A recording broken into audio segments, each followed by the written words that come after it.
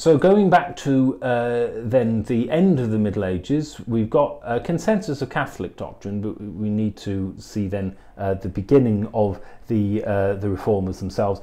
They, as I said, the reformers didn't come from nowhere. They had a background. They came from a particular context. All of the reformers, uh, pretty much that I can think of, were all Catholic priests. Luther, Zwingli, um, Cranmer. Uh, they, they were all Catholic priests. So they were all trained in philosophy and theology in Catholic universities, either Erfurt or Tübingen or, or uh, Leipzig or, or uh, in, in Cranmer's case, Cambridge. Not, uh, we need to start with Luther um, to begin with. Luther, again, didn't come from nowhere. The road to the Reformation had been paved for several centuries. And there were two major inputs. Most people assume that the biggest influences on Luther was his reaction to the corruptions going on in the church, the abuse of indulgences, and you know a century before him there were you know the Avignon papacy and the Great Western Schism and the three popes and all of that. All of that did its damage. There's no doubt about that and it, it, it paved the way to really um, damage the credibility of the magisterium and church authorities in the eyes of the people. No doubt uh, about that. But that's not the only influence on Luther. And the philosophical influence is just as important.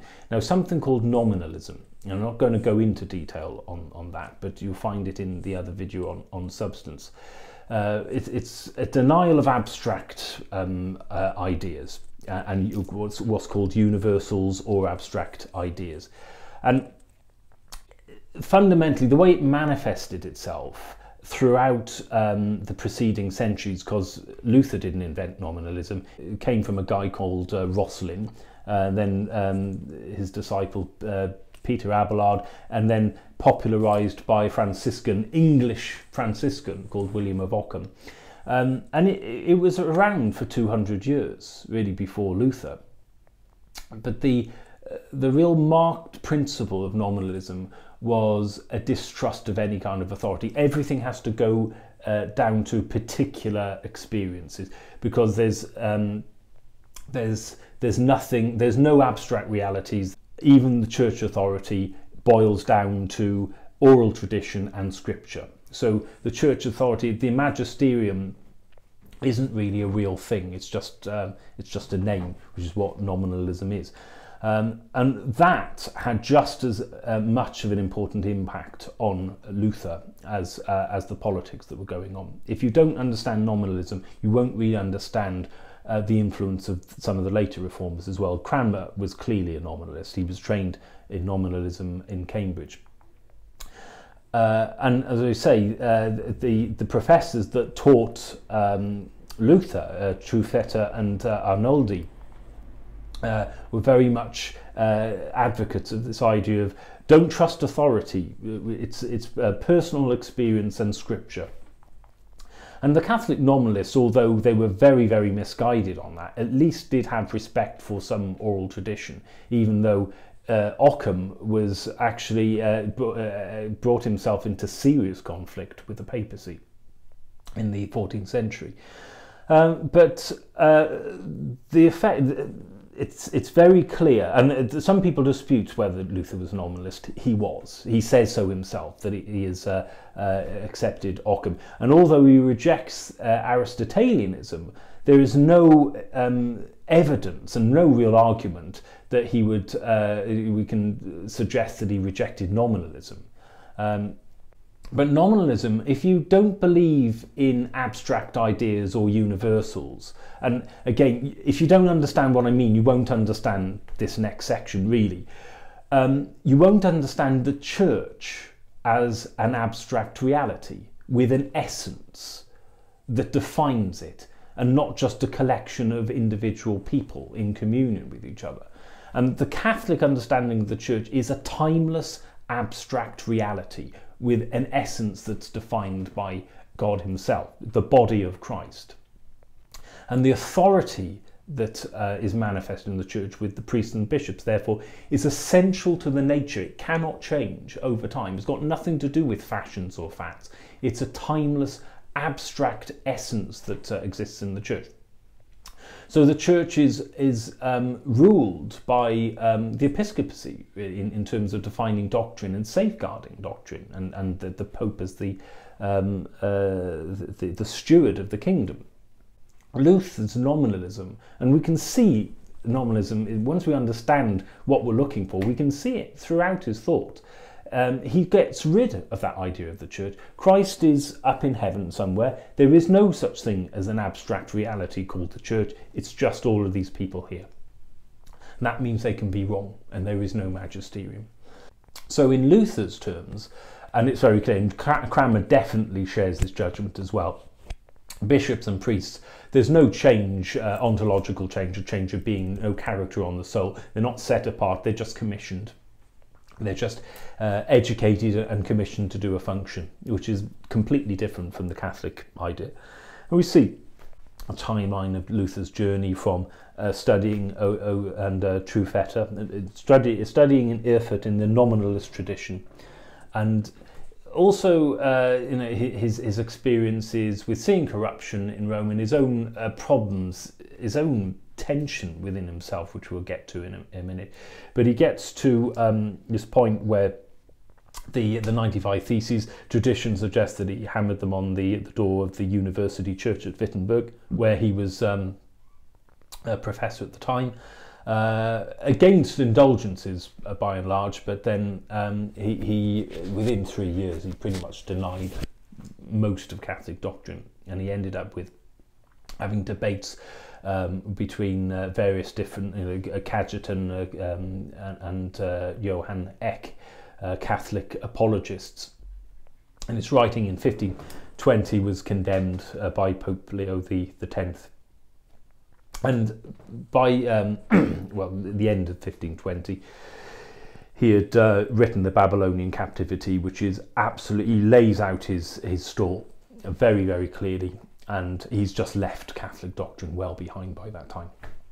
So, with all that background uh, that we've seen, with uh, the historical and philosophical inputs into Luther's life, we can start really examining uh, the man himself, uh, what uh, Luther himself would describe as his Anfechtung, his angst, his despair of his own worthiness of salvation, and trying to fit that in with uh, Catholic doctrine of justification. Um, how that uh, we, his understanding of the Catholic system was we earn our salvation through good works, at least with cooperation from God. And uh, there is uh, an element, a very important element of uh, cooperation. St. James himself says, uh, faith without works is dead. And that's fundamental. Anybody who, who says that the Catholic point of view is unbiblical is just extraordinary.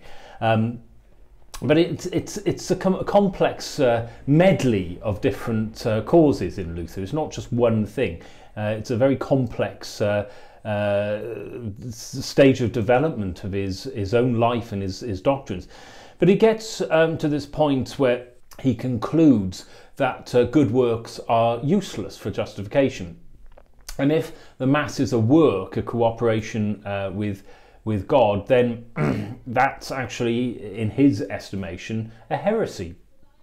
The, the Mass is pure gift, it's not a sacrifice that uh, we offer for the living and the dead. And this is key because the Catholic doctrine is very much the Mass is a sacrifice that we offer for the living dead. We cooperate with Christ. The priest uh, acts in the person of Christ to cooperate with God's work to make the sacrifice accessible for us so that we can receive his body and blood. This is what he's fundamentally attacking. And it comes, as I say, from his theology of, of justification, really uh, his own unworthiness, that faith alone, scripture alone, is uh, really the, the source of faith. And uh, justification is really God's uh, attributing uh, justice to us. He's stamped our file uh, saying that person is justified through through faith. Whereas, um, as I say, the, the, offering mass and, and our cooperation with uh, God through uh, good works is central to Catholic Christianity. And we say, see, we mentioned this before uh, when we were discussing John chapter 6, the bread discourse. Luther dismisses it as having anything to do with the Eucharist. It's, uh, it's, it's quite extraordinary because it's so clearly Eucharistic, but uh, even though he, he doesn't go on to dispute the real presence, uh, he, he just can't see it as being connected with the spiritual eating um, of, of, the body and blood of, of Christ. It's, it's, uh, a remarkable passage in his book. It's all from the Babylonian captivity. So he said, we you know, re receive the Mass, we offer a sacrifice. So he can't, uh, he can't get uh, you know, agreement on that, obviously.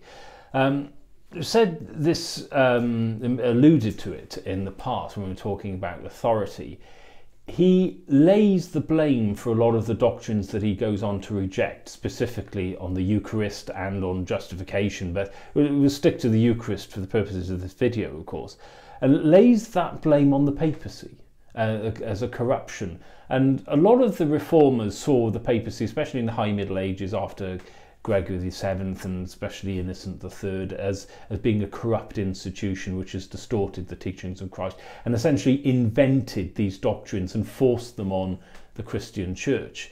Uh, and one of his the biggest weaknesses in that argument, and not just Luther, but all of those who held that position, is that you can see that all of these doctrines of the sacrifice of the Mass, priests, vestments, all the things that the theologians um, of the, the, the Reformation throughout are all ubiquitous in the communities that have been founded on apostolic lines.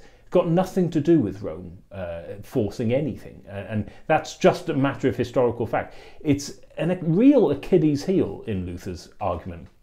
It doesn't make any sense whatsoever. Uh, the East have been separated from Rome uh, since uh, the 11th century, or the various different approachments. Uh, and they all developed um, these uh, these very very clearly sacrificial understandings of the liturgy from their earliest times, really from the, the ages of the church fathers. So it, it makes no sense really. Um, it's an extraordinary allegation of Luther, and it's just it doesn't stand up to scrutiny. Comparing uh, the Catholic understanding again, just revising and clarifying in case there's anything that needs to be reinforced here. Uh, in the Catholic interpretation, the Mass is a sacrifice, uh, and that um, the flesh of Christ is represented for us to consume in a ritual meal, just as the, the lamb's flesh at the Passover would have been sacrificed and uh, eaten by the family who, who offered it in, uh, uh, in the Passover meal. And that, therefore, is applied, the uh, efficacy of the fruits of the sacrifice are applied to uh, the intention of the living and the dead. There are three components of sacrifice priest, altar, and victim. You need all three to have a sacrifice. You need a priest, one who offers it, you need something to sacrifice on, which is an altar, and a victim. And again, anamnesis, bringing present a past event into uh, the present, and those who um, who for whom the uh, the mass is offered uh, benefit for for for their salvation. And uh, Aquinas then uh, gives a very comprehensive um, response. And uh, comparing Luther's understanding of who we are and what we are, uh, and the, the Catholic with, with the Catholic doctrine. Uh, again, it's it's cooperation with, with with us. It's a conversion. The Eucharist is meant to convert us, to change us into the Eucharist, essentially, which is is is Christ, to, to divinize us, which is something we see in Saint Augustine. Uh, we are broken because of original sin. Baptism reawakens something in our soul, and uh, through the sacrament, we are converted and nourished by, uh, by the Eucharist. We are changed at the level of being, at the level of ontology, which is another, it's a posh word uh, to mean the same thing. Luther um, doesn't see it like that at all. As, as I said, we, uh, he sees justification as a proclamation of God that that person is, is justified through, through faith. So there's no cooperation really, there's a predestination that that person, uh, God has decided that they will be saved, and, and it's, purely the work of God and not a cooperation. So, two very, very different uh, levels of understanding there, which does impact, as I say, his Eucharistic theology as to what the Mass is and what it's for at the end of the day. So, if he doesn't believe in good works, if the mass is a good works that is offered to God for atonement, then obviously he throws it out of the window. And it's, it's as simple as that. So let's have a look at what the Eucharist means for Luther. And we're not inventing anything here. We're using his own writings here, which are, as I say, accessible. The Babylonian uh, captivity is where he lays out his, his position. Uh, so to, to, to Luther, to summarise, uh, if the Mass isn't a sacrifice, what is it? What's going on there? So to Luther, uh, the, the sacrifice has already happened 2,000 years ago. So the Last Supper was uh, a last will and testament of Christ through which he tells the apostles it's a promise as to the salvation that awaits them. That's all it is. He does believe in a real presence. He does believe um, that Christ is present in the Eucharist, but he rejects transubstantiation. He rejects a change of the substance of the bread and wine into the body and blood of Christ. The crucifixion is a past event, so we're not bringing anything into the present in that respect. It literally is a memorial, looking back at the past.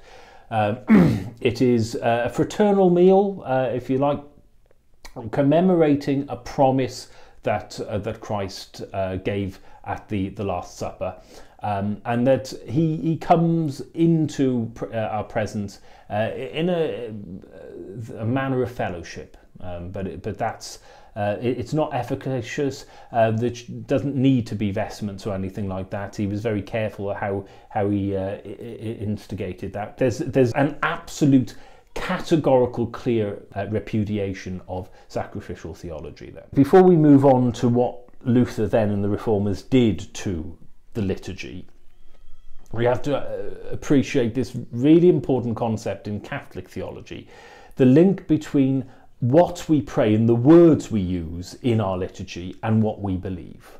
So it's um, is something uh, that, that um, a fifth century theologian came up with, uh, lex credendi, lex orandi, and actually there's a third component of that, lex vivendi. So um, the the way that we live, the way that we pray, i.e., the words that we use, are in complete coherence with what we believe. So we shouldn't be living in a way that's in contradiction, uh, in contradiction with what we believe. Uh, and the words that we use in the Missal, for example, should clearly and unambiguously reflect the sacrificial and sacramental theology that we believe is being enacted as we say those words. So it's very careful for the words that we use in our prayers to be unambiguous and to reflect Catholic theology. Because Luther rejects uh, the sacrificial theology of the Mass. He criticizes the parts of the, the Roman canon specifically, which was permeated throughout Europe. We, will see that in a minute. In a minute. Um, but uh, he, he rejects those prayers and those parts of the missal which make it very clear that the mass is a sacrifice. And he said that those, those should essentially uh, come out and anything that makes it look like a, sacri- a sacrifice should also be removed as well. And so his um, uh, his liturgy that he uh, he borrows a lot from uh, the Roman Rite, but he he takes things out and changes the order of things in order, and there's no doubt about this whatsoever. His entire idea is to expunge sacrificial Catholic theology from the liturgy, but do it in such a way that's not going to be a massive shock to the people.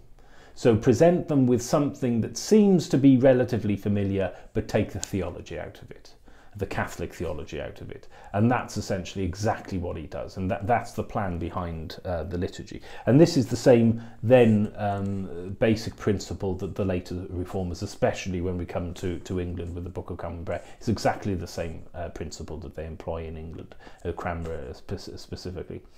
Let's have a look at more detail about consubstantiation. Uh, so, in this case, Luther is saying that Christ is truly present in the Eucharist. But what he's saying is that the bread and wine don't cease to exist. So Christ kind of spiritually infuses himself uh, in in the bread and wine. So Luther's point can be summed, summed up as he's putting words in Christ's mouth. This bread is my body, and this wine is my blood. That's essentially his point. Um, that there is some kind of uh, fusion there, but it's not a change of substance. And he uses, I'm not going to go into the gra grammatical um, uh, argument, he's saying that the Greek and the Latin don't reflect what Christ actually meant to say. Well, the scripture is written in Greek, and it's therefore that's clearly the interpretation the evangelists had of what Christ was doing.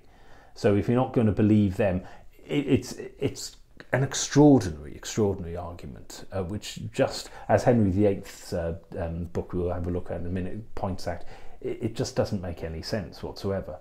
Um, but but that's essentially what he's saying. Uh, uh, so consubstantiation, meaning that the substance of bread and the substance of Christ somehow coexists. Um, and he says for some reason that's more scriptural than um, or, or, more in coherence with tradition even um, not that he's really he doesn't because of his nominalist background he doesn't really care about tradition quite frankly it's, it's that's his the, the big thing is his source of authority um, that, that it's, it's scripture and it's his interpretation of scripture that is more important. And that's not coming from anywhere, that's coming from nominalism and um, the background with Wycliffe and Huss. Uh, as well. All of that is coming into play. So actually, it, it, he's not really inventing sola scriptura. He's inventing the most popular use of it. And uh, we say uh, it was probably ghost written by uh, uh between um, St Thomas More and uh, John Fisher with some input from the king. But Henry VIII, when he was very much in, in a communion with Rome, wrote a refutation of Luther's Babylonian captivity. And actually, it, it's very, very good. Actually, you can get it. Um, you can get, get it ordered. In fact, you can get a translation of it now today. It's worth reading. It really rips apart the Babylonian captivity, uh, and uh, it's a fantastic uh, book. We're going on to authority and to understand and uh, appreciate what the Eucharist is. Whose side do we go on? Do we believe what the Church has always believed, or do we believe Luther? And that's the point. Uh, Eck, Johann Eck, at Leipzig, uh, academic, one of the first to really engage with Luther uh, uh, um, in, in Germany, he makes this point: Is everyone wrong but you? And, and Charles V, uh, then uh, the Diet of uh, Worms in uh, 1521, again makes the point, you know, free, you've got a single friar and you've got the whole of Christianity. And again, um, but, but Luther's idea of mistrusting any kind of authority apart from personal experience, as I said before, is pure nominalism. It's pure Occam the response then, the Catholic Counter-Reformation, which was what ended up being after Trent, was led, um, the initial response was led by Tommaso Cajetan, an Italian um, cardinal, and uh, very much an Aristotelian Thomist, from a, a follower of Aquinas, um, which is very much my own um, to, to, my own background, to be perfectly honest. Um, and I'm not going to read through all of this, but he just reinforces why Luther is wrong and that the church isn't going to change its teaching. Sorry, um, Luther, you've raised your points. This is why we think your points are wrong. It's not an acceptance. He, has got a fair point. Luther did have a fair point on the abuses of indulgences in some cases and, and various other things, but he did not have a point on the Eucharist. We just do not accept that as, as Catholic Christians. Um, his, his arguments to me are fundamentally unpersuasive. And the, the principles that he's used, once we see how they've panned out, they, they look good on paper, but we apply them in practice. And to my point of view, and you know the church's, um, the counter-reform point, point of view, they just don't work. Um, especially his, his approach to authority, sola scriptura. Um, but but we, we see here from all the reformers, once we've detached the authority from the church of interpreting scripture on the Eucharist, it's not, there's not a unanimity of uh, everybody now agrees with Luther. In fact, very few people then agreed with Luther. He found amongst all of the major reformers, most of them rejected consubstantiation. So you had a wide uh, amount of variety, which to a Catholic is unconceivable. And even in the 21st century, somebody like myself was looking at this and go, well, that's clearly the problem with sola scriptura. Everything from Luther and Melanchthon, which was Luther's real successor, and to Calvin and um, Bucer, who came to England, and he was very much interacted with uh, Cranmer and um, uh, again, his, his, his works and some of his letters are, um, uh, are, are, available to read. And then, uh, but they had a kind of halfway between um, complete symbolism and uh, Luther's consubstantiation, but they, they didn't accept either. They accepted some kind of real presence, but not e either of those positions. But the most extreme was really Zwingli, and uh, uh, he really went all the way. It was um, pure uh, Berengarianism, really, where where there's the, the Eucharist is just a spiritual symbol. It's there's nothing um, ontological about it. There's, it's not a matter of, of being, it's not a, a matter of essence, it's just a spiritual presence. And it's there during when it's needed and then it goes. So after the, uh, the liturgy, uh, it, it's, it's, uh, it's not, it's just bread and wine. The receiver, the person receiving communion, for those who believe it's it is the body of Christ, it is the body of Christ. For somebody who doesn't, it isn't. And so they don't receive it in substance at all. And so that was actually the, the view that eventually uh, went on to um, really uh, inform Thomas Cranmer's view, the, the English um, uh, reformer and Archbishop of Canterbury at the time. And again, another example of sola scriptura, and, and this is the problem with sola scriptura Luther was holding to this is my body, this is my blood as a literal interpretation. Zwingli was saying it was a metaphor. Who's right? It's the same scripture. Was one of them listening to the Holy Spirit, the other one wasn't? Um, and this is the thing. Without, I, I personally, I do not believe that Christ would have designed the authority of the church in such a way that such an important matter would be a matter of private interpretation. Let's uh, go on to then the English and, uh, by extension, the Welsh Reformation after the Laws in Wales Acts, in which Wales essentially became part of England and was governed by um, its laws, and whatever changes then were uh, enacted in England would be enacted in Wales. The, the main driver uh, of the Reformation in England and Wales was Cranmer. You had people like William Barlow, uh, who uh, was uh, made uh, Bishop of St David's and uh, ultimately uh, Bath and Wells and, and what have you, um, and, and, Ridley and Latimer and what have you. But Cranmer, being Archbishop of Canterbury, was a real driving force. He was the real mind behind the English Reformation. And so, to understand what's going on in the English Reformation, we need to get into that mind, which is actually quite easy to do because as uh, Luther did with his Babylonian captivity, Cranmer spilled his entire thesis in his uh, book, uh, Defense of uh, the True Catholic Faith and, and do Doctrine, in which he very clearly lays out his stall again. Uh, he's a Zwinglian. Uh, is, that's his view of, of um, of the Eucharist. There's no doubt about it. It's, he's not uh, holding to consubstantiation. There isn't any real substantial idea of a presence at all. It's pure spiritual presence. He can't see how Christ can be in heaven and on earth at the same time. And again, seems to be um, impacted by nominalism, which he, he, he would have been immersed at at Cambridge. Uh, again, absolute denial that the, the Mass of the Eucharist is a sacrifice. There's no doubt that that's what Cranmer thought. He says so himself. He can't make it clearer. So that's that's what we're working with. That that's the the um, the principle. So we're not being unfair on Cranmer. We're not being unfair on the reformers of that day. That is what they themselves say that they believe. And uh, Cranmer's real emphasis, if there's anything sacrificial in the Eucharist, it's a sacrifice of praise and thanksgiving. Well, the sacrifice that we're talking about uh, in the Eucharist is the sacrifice of Christ on the altar. It requires a priest, it requires an altar, it requires a victim.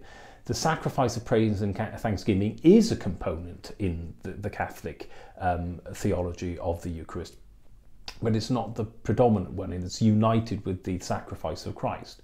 Um, you don't need an altar to sacrifice praise and thanksgiving. And that's when, if we're talking about the Catholic idea of sacrifice, do you need a priest? Do you need an altar? Do you need a victim?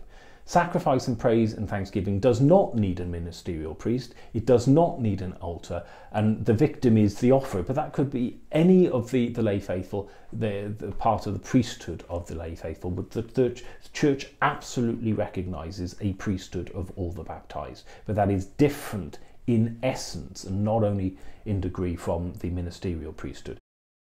And we, we see this interaction in the Roman canon, in our own Catholic Mass, um, that, that they, the people offer sacrifice um, for themselves, but it's united through the priest with the sacrifice of Christ. So we can see these two different points of view. Reformed view that everybody offers uh, their own uh, sacrifice and praise and thanksgiving, and the people offer it through the priest and this especially reinforced to the most up-to-date documents, really the Second Vatican Council. Um, there's uh, and John Paul II's uh, document Ecclesia de Eucharistia, um, which is it shows a, a beautiful interaction there. But even if there is nobody present apart from the priest in saying mass, a private mass, private masses do not require a congregation. They're not ideal, but if a priest needs to say mass, the Mass is not invalid just because there's no congregation. He offers it for the intention and receives the Eucharist and consummates the sacrifice on behalf of the people as a member of the body of Christ. But he offers it in the person of Christ. Uh, the, the, uh, the, the, the, the, priest, um, the, the altar, and the victim are essentially Christ, but the priest lends his hands uh, to Christ in, in offering uh, that sacrifice on behalf of the church. So the faithful, real participation is not going onto the sanctuary and doing something. It's, that's a clericalization of the laity, and it's not what the church says at all, even though that became the whole, the real approach, the interpretation of participation of the lay faithful after the Second Vatican Council essentially didn't read the documents and just uh, went ahead and interpreted as everybody's got to be doing something. No, it is a spiritual participation uh, where we respond and are part uh, connected to the, the sacrificial actions uh, uh, on the liturgy uh, in, of the liturgy. Also, by getting rid of beauty in our churches, and which is something again that happened in the 60s and 70s, and replacing it with concrete and um, and grey, and just getting rid of colour and and paintings, and is very much a brutalist um, uh, sort of architectural uh, concept, we're then losing those visual reminders that the Mass is a participation in a heavenly reality. It's not just us, we are joining in with the heavenly liturgy. And it is a preparation and a foretaste of the heavenly liturgy. Because if our own, only understanding of liturgy is that it's the very bare minimum, it's kept as simple as possible, and we don't do anything more than we absolutely have to, then that's not a preparation for heaven because we're going to have a nasty shock, quite frankly. But uh, returning to the 16th century, the real uh, changes that were enacted uh, around about 1548 uh, onwards, uh, the architecture of the church gives us an insight into what's going on with the theology of, uh, of the liturgical celebrations. So every pre-Reformation church in England and Wales would have been built in order to offer sacrifice. It's, that's the whole point. It would, it would have been built um, in the, the shape of the temple where you would have had a sanctuary, uh, the temple in Jerusalem, we would have had a sanctuary and a nave, a representation of our journey through life, which was Eastern orientated. All pre-Reformation churches pretty much in um, this part of Europe are Eastern orientated um, and the high altar then facing east and the priest would face east with the people. So the priest would uh, offer the sacrifice facing east on behalf of the people. And yes, it is true in the Middle Ages that the balance was slightly wrong in terms of the, the participation and the ability for people to see what was actually um, uh, going on. But what happened under the directive, which Cranmer was undoubtedly um, largely behind, uh, the churches from 1548 onwards, the altars were smashed and a, a, lot of them were actually, uh, well, some of them at least, were put under the doors of the church to be trampled on. And the sacrificial vestments of the priest eventually uh, replaced by a stole and, uh, and a surplice. And a communion table, wooden communion table, replaced the altar. As I say, three components of, of sacrifice priest, altar, and victim. You get rid of the altar, you place it with a communion table, you, what you're saying is that the Mass isn't a sacrifice, it's a meal. That's the fundamental point of it. And you're replacing then a sacrificing priest with a minister. And there's no victim, it's just the prayer of praise and thanksgiving. There's no victim uh, that is represented. Um, we see that the 16th century church is a great example in St. Fagan's Museum, of course, St. Teilo's, um, but this is a bit of a, re a representation the the people would have been separated by by sex actually um, uh, uh, male and females on different sides. Uh, there would have been in the 14th to 15th centuries onwards uh, the later me medieval period uh, was, it was fashionable to have a rood screen which firstly reminded us of the the veil of the temple separating the holy of holies from the rest of the temple. But also there was um, a devotion to the suffering savior the the the rood is an Anglo-Saxon word for cross, so it emphasizes the, the scene of the crucifixion. Again, to remind us that the Mass is a representation of that sacrifice. So, statue of St. John, statue of Mary, um, and that was all accessible. The lights, the candles on that were accessible from a rood loft, and that was uh, the, the standard. The rood screens were taken out uh, by the reformers as I say, the altars were, were taken out. Any um, wall paintings or anything like that, which were catechetical, painted over. And one thing, even now today, which really um, marks out a, a, Catholic, the Catholic understanding, is there a crucifix on or near the altar? Um, even though some reformed um, denominations now are returning to uh, crucifix, it's especially the Lutherans who don't absolutely reject a sacrificial understanding, they're returning to have um, a crucifix a, a, with a corpus on it. Um, the reason why we have a corpus is that uh, it's, it's a reminder that Mass is a sacrifice and the, it's not just a sacrifice, it's that sacrifice.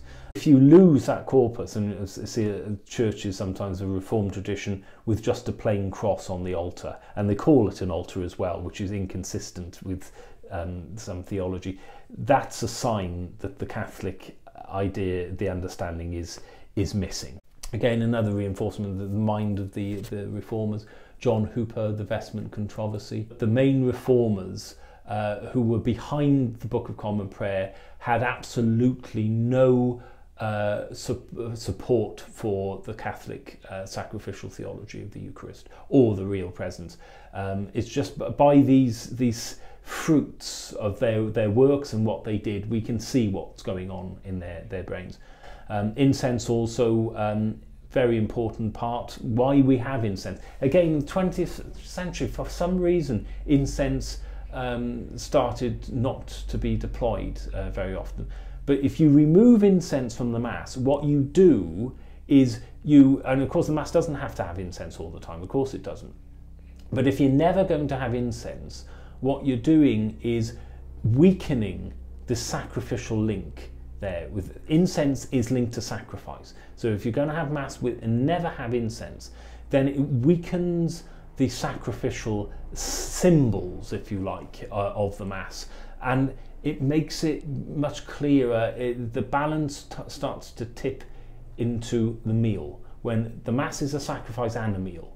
It's not just a meal and it's not just a sacrifice, it's both together. And if you start playing with the symbols and removing things, an incense is really important to keep in the Mass. And it's been used for thousands of years, and, and why now it's suddenly become an issue makes very little sense. And it's nothing to do with paganism. Uh, the church brought it in really in the fourth century when it was it was sure of itself. It had more confidence in its own identity in respect to, to paganism. But it's Jewish. It's absolutely Jewish. The vestments, everything that uh, the reformers said were, you know, accused of being pagan uh, interpolations into Catholic practice, it's all Jewish. It's just reinforcing our Jewish roots and our Jewish understanding of what the Eucharist is. That's all it is. And we go on then to the Book of Common Prayer.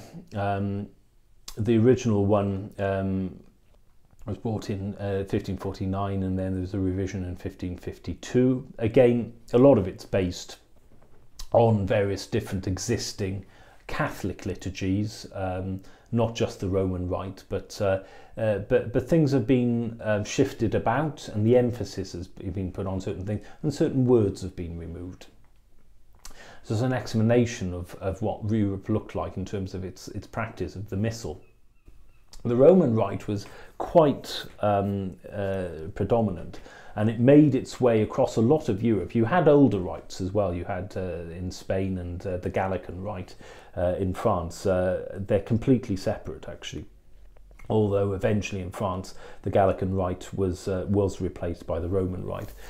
But uh, the Roman Rite made its way across the Alps all the way through northern France and uh, eventually with the Normans um, to, to Salisbury. It, it, it, probably didn't replace an Anglo-Saxon Rite. What was being used before was very likely a derivation of the Roman Rite anyway.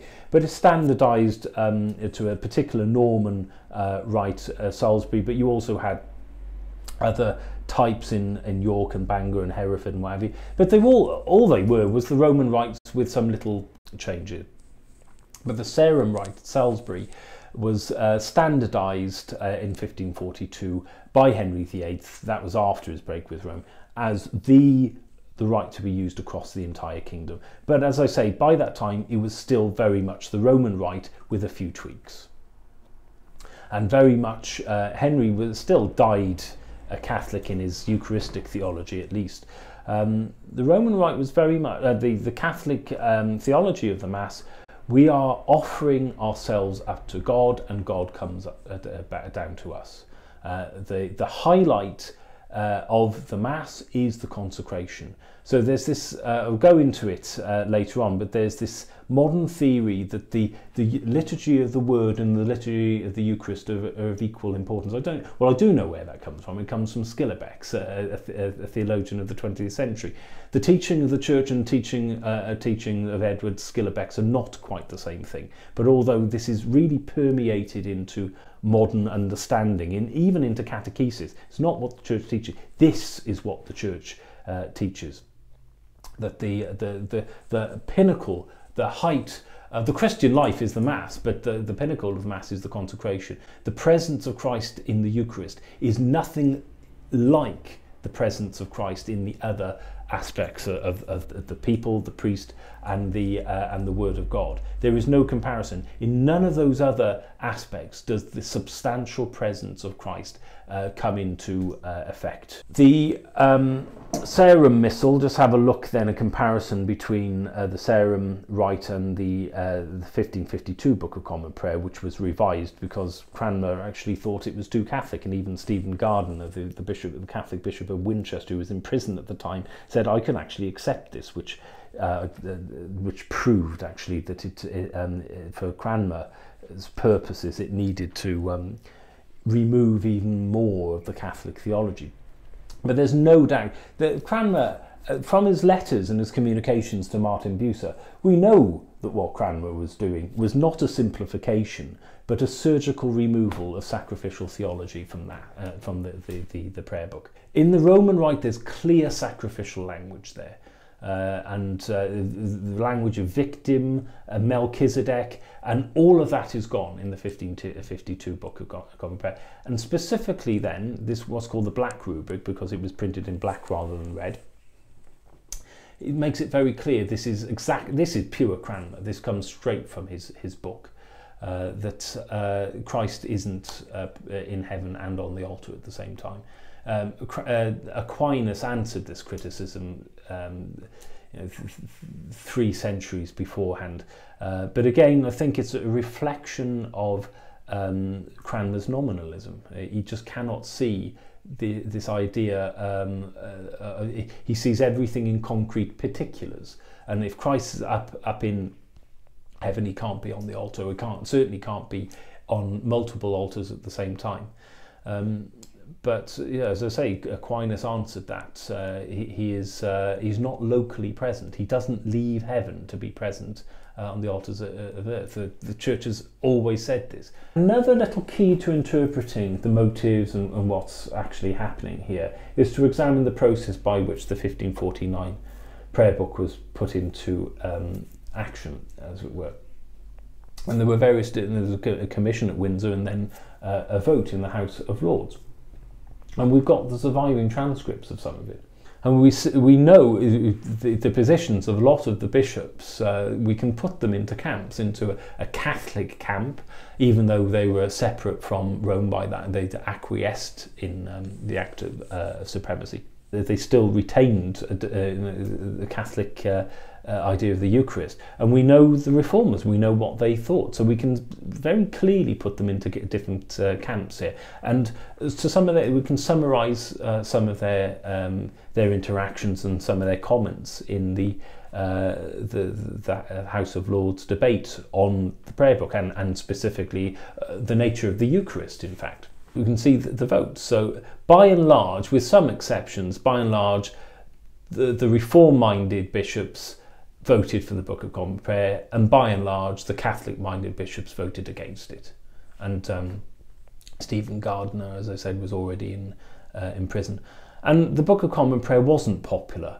It, it, uh, it caused a revolt in, uh, in, in Cornwall and the, uh, the, the west of England, of course, the Prayer Book Rebellion again a reminder that reform was enforced from London. It wasn't a, grassroots uh, movement. It was forced by the Crown and uh, after the Pilgrimage of Grace, for example, the, the, the uh, Prayer Book Rebellion was the last attempt really at trying to stop the Reformation on behalf of the people of England and Wales, essentially, well, particularly England. When Edward uh, VI died and uh, Queen Mary became uh, Queen and uh, replaced Cranmer pretty much immediately with Cardinal Pole, not Cardinal Pole, by the way, his name is actually pronounced Poole. Um, he, he essentially, uh, he did actually try to save Cranmer, but Ma Mary uh, had a, a, personal vendetta against Cranmer. Firstly, it's interesting to see what was the reaction to Catholics when we restored the Missal, restored Catholic practice in England. What did the Catholics of the time think about the last few years when the Book of Common Prayer and, and Reformed theology had been prominent?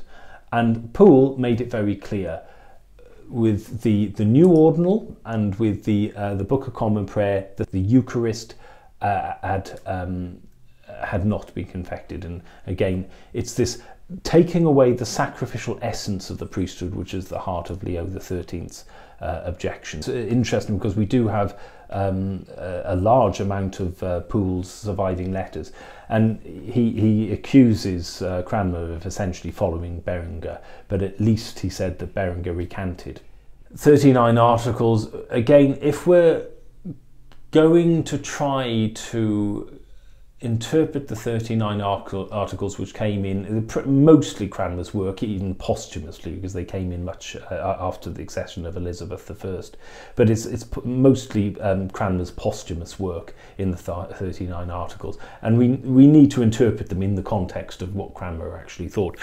But any attempt to interpret them in a Catholic way, as um, St. John Henry Newman did in Tract 90, is, and the criticism at the time was trying to make them seem to say the opposite of what they actually do.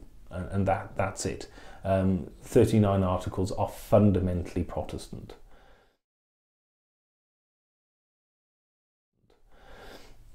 A Catholic response with the Council of Trent, all it did, the Council, was just reaffirm um, what we've already said, what Catholic doctrine is. Um, defended the sacrifice of the Mass, defended um, the, the uh, offering of intentions, defended the real presence. And what it did with all of these different prayer books coming out in Europe with Zwingli and Luther and, and uh, Cranmer and, and what have you, in Catholic territories, then um, Pope St. Pius V then standardized the Roman Rite across um, all of Europe.